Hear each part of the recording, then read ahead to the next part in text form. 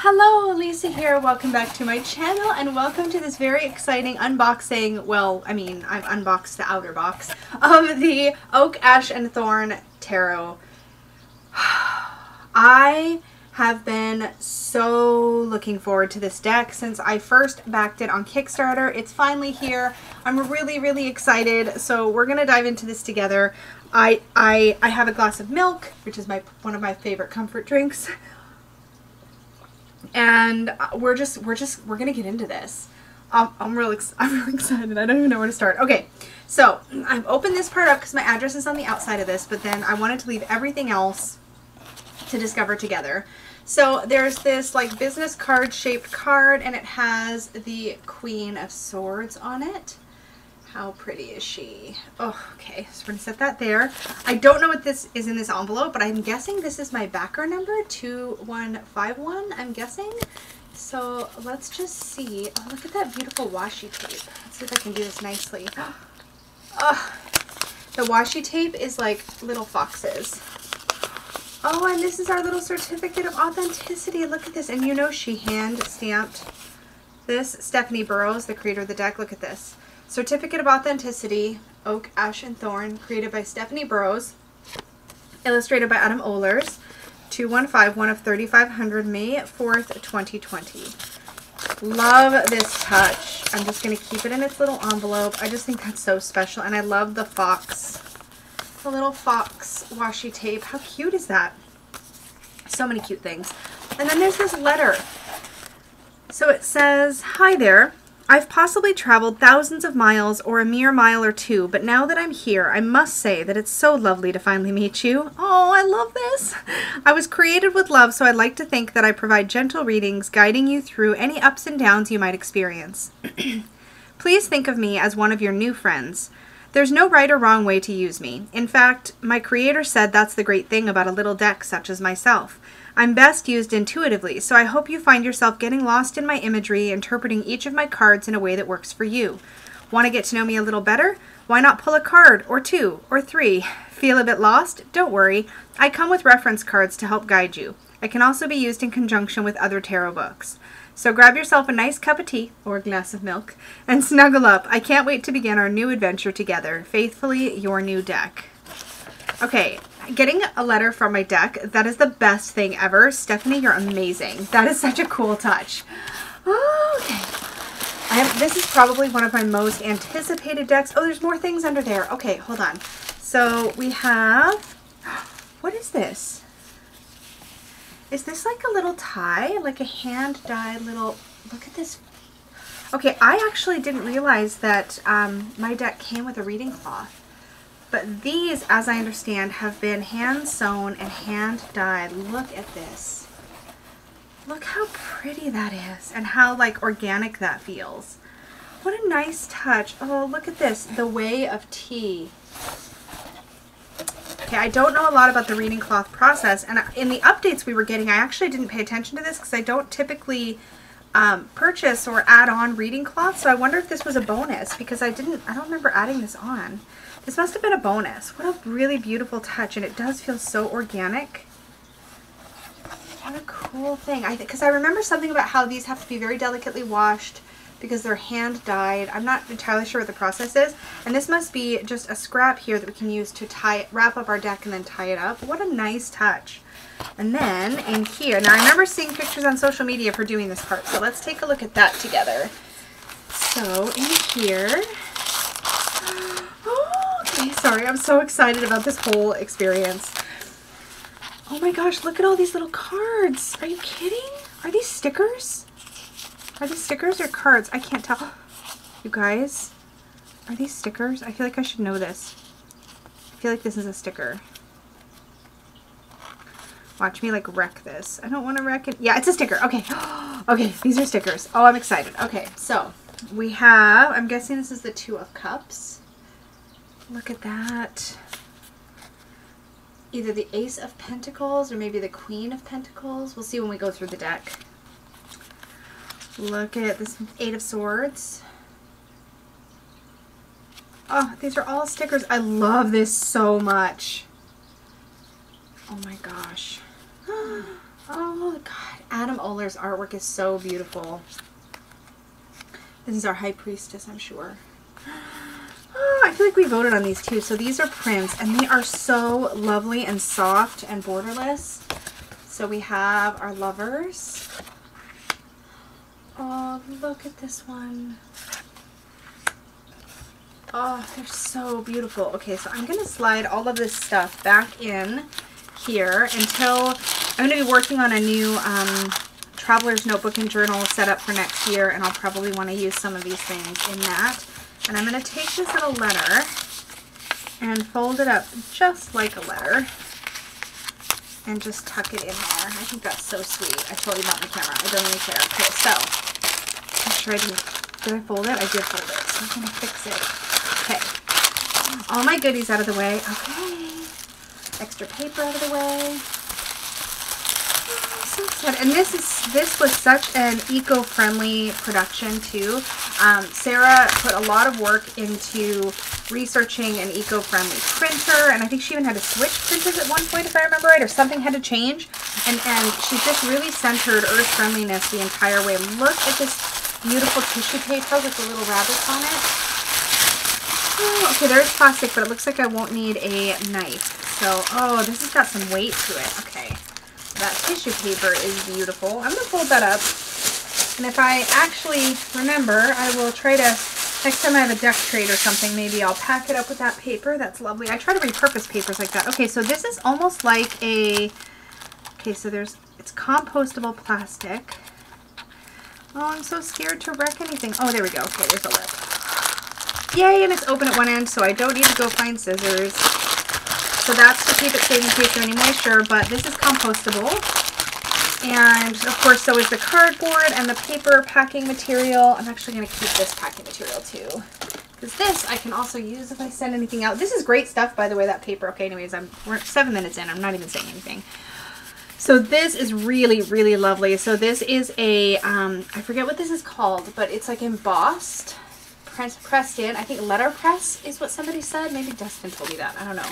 Three Trees Tarot Volume 1. Spoiler alert. So I believe, if I remember correctly, I saw somewhere, I don't know if I saw it on one of um, Sarah's updates or if I saw it somewhere else, but the next Three Trees Tarot is going to be a, I believe it's still going to be Adam Oehlers, which is the artist of this deck, and it's going to be, if I remember right, Earth Dragons. So I'm, I'm so excited. Okay. Oak, Ash, and Thorn. Beautiful tarot cards with roots in the enchanting natural world. An eco-friendly Rider-Waite-Smith inspired art deck containing 78 tarot cards plus two double-sided companion reference sheets, allowing each card to be read intuitively with just the right amount of guidance to support you. Printed by Generation Press. So this is carbon neutral, solar power, vegetable-based inks, responsible printing.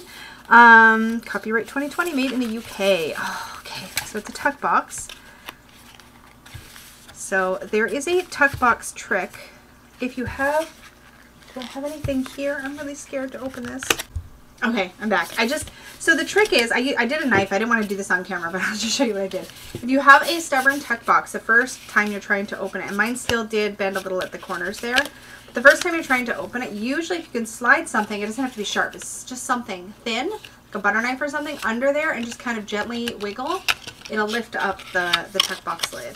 I've had to do that before. Actually, probably seen me do that trick, but oh, this this deck will probably not be living in its beautiful box. I'm probably going to, let's see if it will let me take out the bottom. Yeah, this is what I like to do, is I open the bottom and the top, I just kind of gently press them down and I store my boxes like this, in a, my tuck boxes like this, in a drawer. So this one won't stay in its box because I'm just nervous about opening and closing this one, but it is a really sturdy, nice tuck box. I'm just concerned about opening and closing it a bunch, so that's going to get stored. This deck is going to migrate into a Peggy bag, and we have a paper sleeve, which I should be able to just tear. Oh, there we go. Little paper sleeve. Okay, so we have our reference cards here. Am I at the bottom? No, I'm at the top. Oh, I'm so excited. Okay. So we have the major arcana. So we have the Fool and some keywords. And then when you flip it over, you have the, starting with Justice through the world, you have the rest of the keywords. And then you have Cups. Oh, I see. You have swords and cups. And you have wands and pentacles. So that's really clever. So it's two little simple cards that can live with your deck that have the meanings of the cards. Let's take a look at the backs. So pretty. So here you have the rabbit, the fox, the crow, and the squirrel. I've had those mixed up. That's the squirrel, that's the fox. Um, and these have a really nice feel. They don't feel, oh, it's a chunky deck as you can see, but it doesn't feel like it's going to be difficult to handle. So it says, thank you. Your purchase made our day, and we hope the little pack, this little package brightens yours. Share the love. Tag us on Instagram. So Three Teas, Trees Tarot, Oak, Ash, and Thorn, and their contact information. Oh, okay. I'm so excited to dive in. So I'm going to set that aside, and we're going to zoom in and go through the cards. Here we go. So we're starting off with the Fool. I love these tentative like Bambi first steps, the little butterfly. This is this is classic like Bambi scene to me. Um, but I love how we still have the pack here and the stick and the stick, the staff that's usually being carried over the Fool's shoulder. So all of our symbology is there. I love that. And also our Fool has a little guardian to help them here, the little butterfly. Which also, fun, funny enough, reminds me of the last unicorn and the butterfly there. Here's our magician, and we have this stunning crow. We have all these little like lightning bugs surrounding all the tools here. So we have the wand, the cup, the pentacle, and the sword. So gorgeous. And you can tell it's part of the nest that this bird, that this raven or crow is creating. I really love that. Our high priestess. Now, I don't remember what all of the, I'm probably not going to remember this, is a falcon, if I remember right. Like maybe a peregrine falcon. I don't think it's an owl, but it might be an owl. I'm really bad with animal identification, you guys. But if you know, it's just a beautiful card, though. I love the mystery. I love that we still have the scroll here and the crescent moon in the background. the Empress. I love a bunny as the Empress. I think bunnies are just wonderful fertility symbols. We still have the heart cut out here in this tree stump with the sign of Venus there. We still have the staff. She's throned. She's got a rose crown. And I love that we seem to have, the major arcana seem to be in the woods at night. Yeah, at night. Oh, so pretty. The Emperor as the stag. And he too has a shield here, only this has the ram on it. The full moon behind him. The path. He's very regal. Oh. The Hierophant. Look at this little owl. So perfect for the Hierophant. I love that we have this like compass here and we also have this lock and the key being held. I like too that there's some evidence here of sort of hum human life, like the human world. And so you get that idea of sort of pre-exist like structures and things that are um, in some ways could be both a, or a help or like a hindrance depending on your perspective. I love this lover card, lover's card, the lovers in the midst of the blackberry bushes. So beautiful. There's something really lovely about this cardstock. It's like it feels smooth and matte, but it feels really it feels really nice. The chariot Again, I'm not sure of this bird. And anybody watching this, feel free to, if you feel like sharing, um, feel free. I love the little snail here. I wonder what the keywords, I'm just going to bring this out and just see. I'm curious what their keywords are for the chariot. Usually it's something around movement, determination, journey, and direction. I love the badger for strength. This is fantastic. Interesting too that it's like, it seems like a really big badger because look at this teeny little squirrel on his shoulder. I don't know how big badgers are, but I thought they were much smaller than that. So he seems like larger than life. And then we have this snake, but he's totally got the snake um, under his command, right?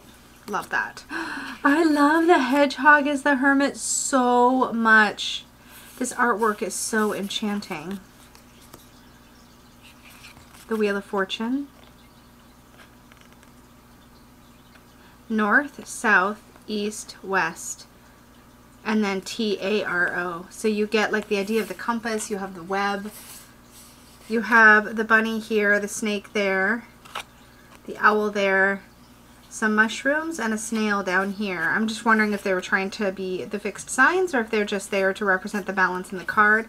It's interesting here that if you look closely, the owl has a little mouse dangling by its tail here. So there's that element of like, who are you in this image? Like, are you just kind of safely looking on? Are you the snake? Are you the mouse? Are you the owl? Or are you just chilling out here like the snail? Love that. The wolf for justice. So pretty. Look at all these balanced stones at the bottom. This hanged man, it just, it's everything. It's such a precarious position. You can tell this little mouse is just hanging on, but also is up higher. And uh, this might be a shrew. I'm not sure if it's a shrew or a mouse. Again, terrible. But I love that he's clinging to a dandelion. You get the sense of holding on to hope and also perspective. Um, I love that so much. Death. What a beautiful death card. And we actually have a butterfly emerging from a cocoon here. So pretty. I'm just going to say a lot of it's pretty because it is gorgeous. Temperance. I love this owl. It seems to be... Owl. Oh my gosh, you guys the swan, I do know what a swan is, I swear, protecting, um, you get the feeling almost like it could be protecting someone or something from the breakwater, right? Like there's land and sea, and this, the swan is actually creating the barrier between this these two places. So instead of a human where we might see like one foot on, on land and the other foot in the water, here we get the feeling of like literally being in that liminal space between land and sea. Love that. The devil. So this is really great because um, this is something I often look for in my tarot decks is to see the lovers and the devil next to each other. But here we have our lovers in the blackberry bushes. And here the bushes have entangled them. They've ensnared them. We have the Luna moths. Here we have butterflies. Here we have moths in the background. And they're all caught up and stuck versus being free. So that really works. Oh, that tower. Sorry, I'm just trying to like keep track of my cards here. Um, yeah, lightning striking the tree. All these birds losing their home. Ugh. The star. What a, what a like really spectacular scene here. What I like is these fish kind of pe peeking their heads out of the water to look up at the stars. That's really pretty. I'm just going to keep saying it's really pretty. I'm sorry. The moon. I just, I love this image. I've loved it since the first time I saw it. I think this was one of the preview images we saw in the campaign. But I love the crescent moon here and the same way that this squirrel is all curled up at night.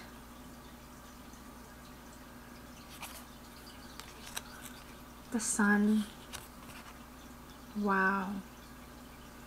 The way it's breaking through the clouds, the way this particular bird is holding the roses like the gift being exposed by the sun. The rain is still happening, but it's clearing, right? The sun is coming out. You get this big bright ray here. Judgment. so pretty. The world. Oh, oh, I love this. I love this. This to me feels like almost like a passing of, look at what's happening here.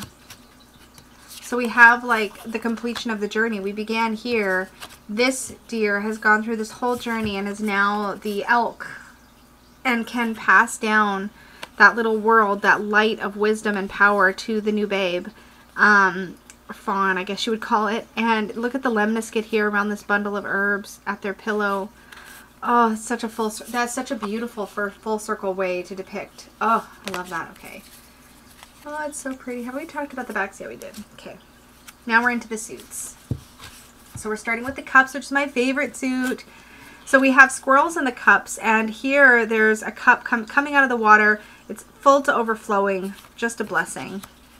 And here we have two squirrels. I love that we have like a gray squirrel and a red squirrel. I love the little heart on the squirrel's tummy here and the flying ladybug here. Oh my god, I love ladybugs so much. Uh, obviously, I have my little I even brought my little ladybug candle for this video. Anyway, so great. I love that. Here we have the three, and we have two red squirrels and a gray squirrel, and they're all playing together with their little acorn caps. The four of cups. I love this. There's like butterflies everywhere. This gray squirrel's like, don't wanna, but there's all of this. I love that too the Five of Cups, three little cracked and broken acorn caps here, but there's two good ones still on the branch. The Six of Cups. A tree full of bounty, little treats that they've managed to keep and squirrel away.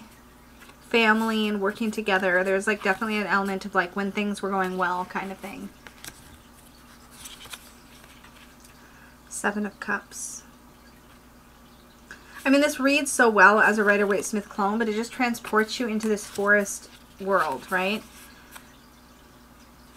Beautiful Eight of Cups.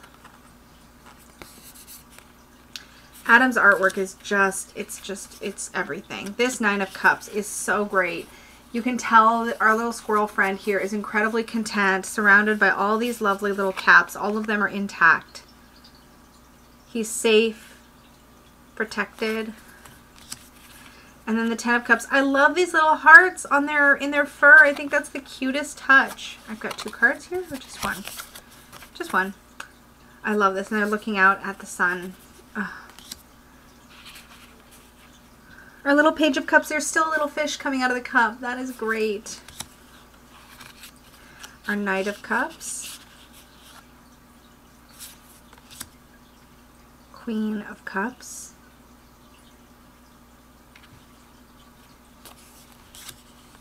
And King of Cups. Oh!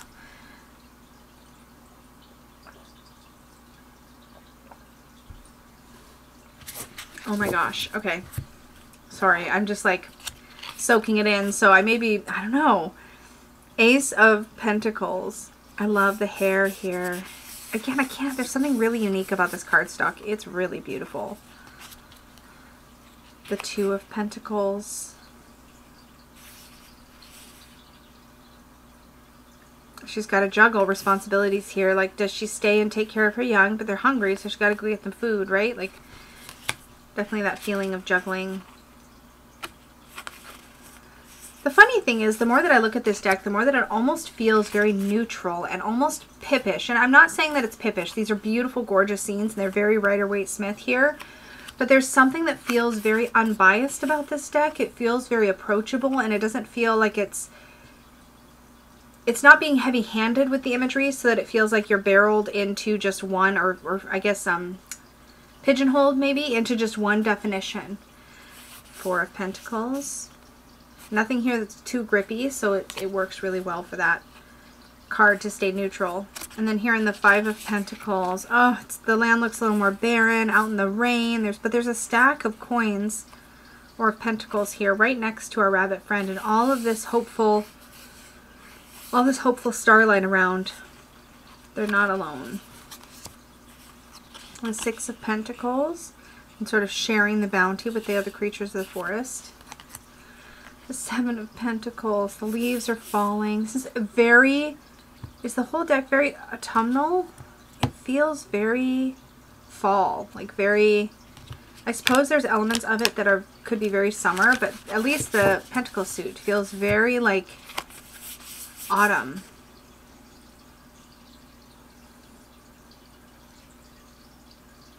It's very transportive, this deck. It's like I feel like I need to soak it in the Eight of Pentacles.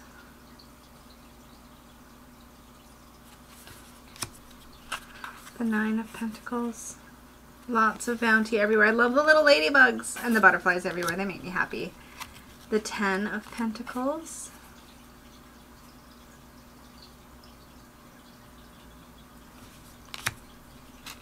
The Page. I love the little hearts on their bones. The Knight of Pentacles. Very stable, this one. The Queen of Pentacles. Mama Bunny here. And the King of Pentacles. Again, were the cups like fall, kind of? Maybe they were more summer. Yeah, maybe cups were more summer. It's interesting because the, the, the settings are so, are kind of neutral toned, right? These colors are earthy and more natural feeling, not primary colors or super they're not vivid. They're saturated. They're just not those those brights. they're not bright. Ace of swords. So now we're into the suit of crows. Oh these are so pretty. Oh my gosh the two of swords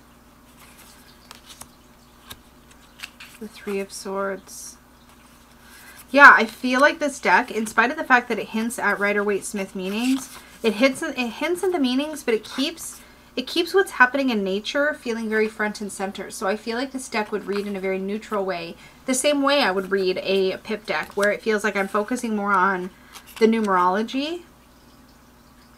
The Five of Swords.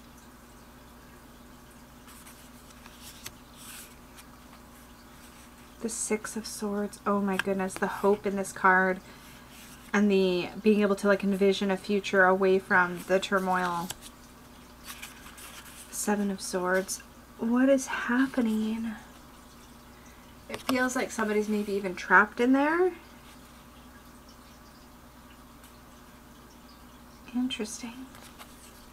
What's the keyword here for the Seven of Swords? What do they have for it? The Seven is dishonesty and greed. Transition, uncertainty, yeah, dishonesty, greed. Fear and self-limitation. Yes, the keywords in this little reference cards will be really nice. Um, you definitely feel the restriction. Again, very Rider-Waite-Smith clone, which it, it, claims to be, right? Um, the Nine of Swords. Oh.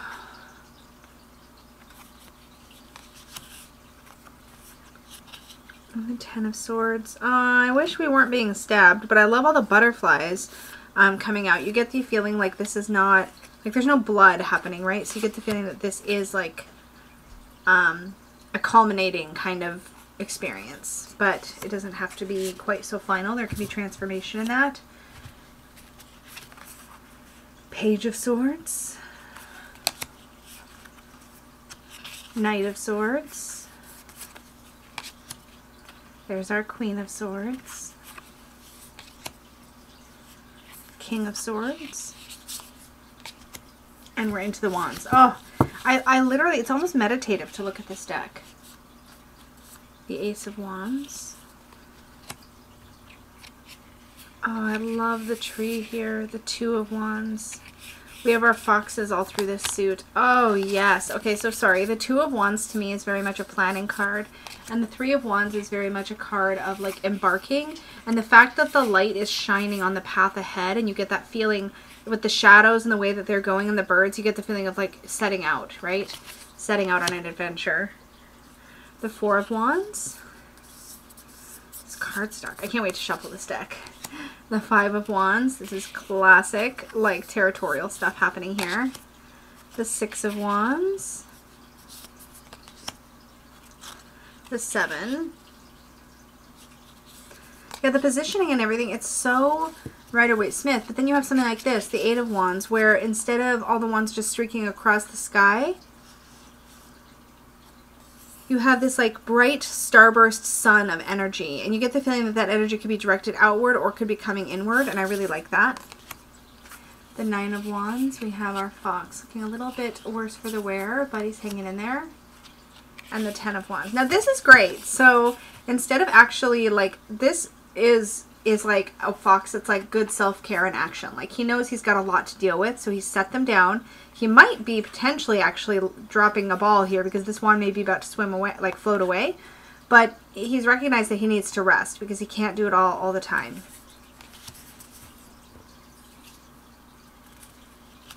Page of Wands. The Knight of Wands. I like how, is there on the page too? Hold on. So page, there's like little butterflies. In the Knight, though, we have like a bee.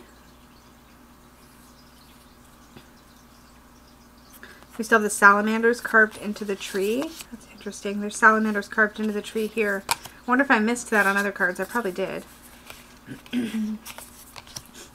the Queen of Wands. And look at the little cub.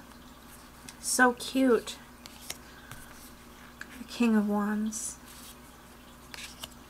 And these are, are some extra cards. So we have possibilities And this card has a beautiful dragon surrounding this fox's den, but we still see the squirrel and the crow, and there's a rabbit in the fox's den.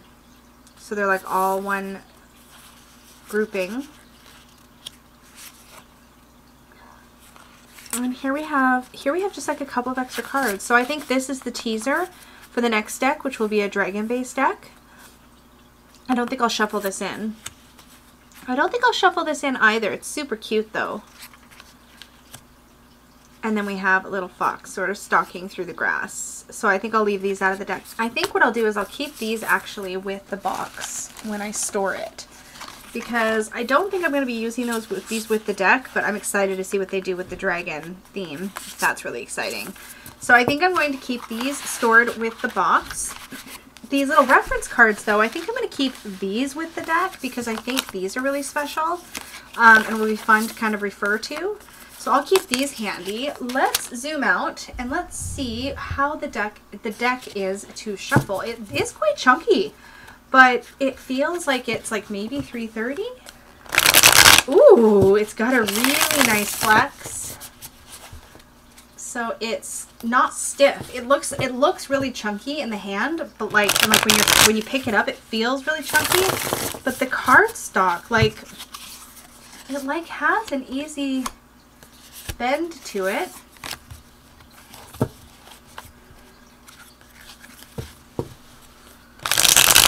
Yeah, it's a really, really nice riffle shuffle. So pretty. Oh, okay, so let's just lay a few cards out and see what we think the Eight of Wands, the Page of Swords, and the Four of Swords. Look at that. What a beautiful deck. I think if you wanted to be able to have a animal deck in your collection or in your possession that you could just shuffle and draw cards for and read exactly like you would read a Rider-Waite-Smith deck or a Pip deck and just have these beautiful scenes. I think this is wonderful for that. It feels like it just connects you right into the natural world. You have the speed and the illumination and the Eight of Wands. you have the sense of like discovery and curiosity and the Page of Swords. And then in the Four of Swords, you have this need to sort of just rest. The crow here just curled up on the top sword like, I need a break, right? Despite what's going on around me. I think this is a really going to be an easy, breezy reader. Very comfortable to pull out and just throw cards down and have and give meaningful readings. The other thing is that a lot of times nature decks can feel very approachable, particularly to people who are newer to tarot, as far as people who you read for, for example, a friend or a family member. And so animal decks like this, like this has a lovely storybook storybook kind of feel to it. Very soft, very approachable. Um, it kind of feels like it's the halfway point in a way between my Brady Tarot, which is very sort of National Geographic, like intense kind of nature, and my Tarot Fauna, which is very sweet and has a similar structure to this one where we have uh, different creatures that each dominate their particular suit. Um, and so this feels, where Tarot Fauna feels sort of extra sweet and playful, and Brady Tarot can feel very intense and sort of, again, National Geographic-y, this sort of fits in the sweet space between, where it's got a serious, a more serious, um, more almost believable or realistic sort of like tone to it without being overly harsh.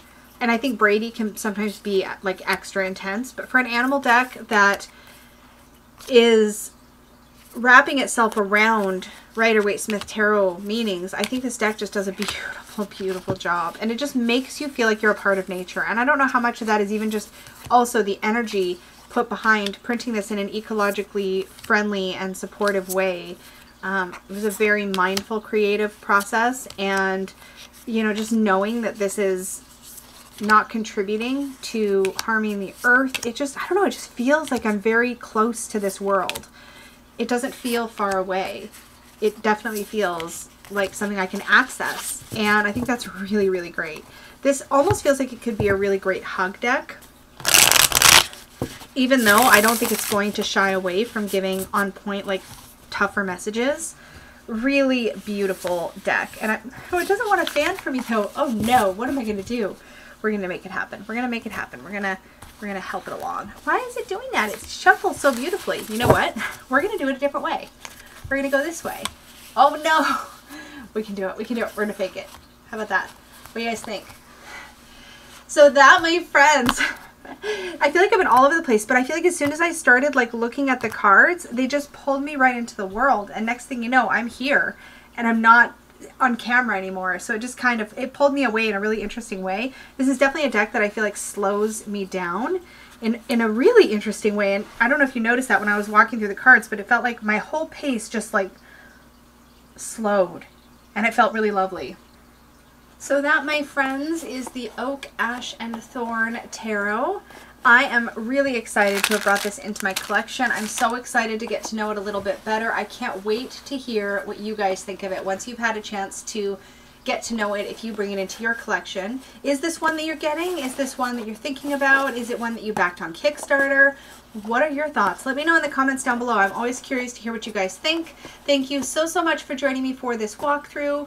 Please do like this video if you enjoyed the walkthrough. Share, subscribe if you're new here. Don't forget to hit that little bell. And remember, if you want to book a reading with me, you can always do that over at supportivetarot.com.